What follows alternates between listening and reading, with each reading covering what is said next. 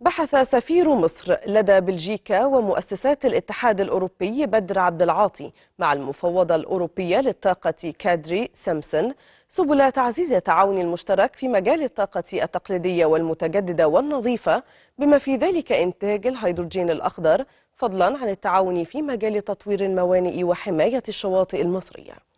وثمنت كادري سيمسون التعاون القائم مع مصر في مجال الطاقة والذي انعكس في التوقيع مع مصر على مذكرتي تفاهم في مجال الغاز والهيدروجين المتجدد بما يسهم في تعزيز أمن الطاقة الأوروبية.